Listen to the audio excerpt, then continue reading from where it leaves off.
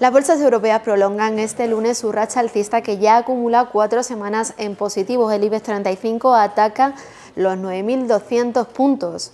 Eh, todo es así porque continúa el efecto Draghi en el mercado que parece que está activando el apetito por el riesgo. El pasado jueves la Autoridad Central Europea bajó sus tipos de interés, así como los de depósitos. Aumentó la cantidad mensual destinada a la compra de activos y puso en marcha varias operaciones de refinanciación a largo plazo para apoyar a la banca.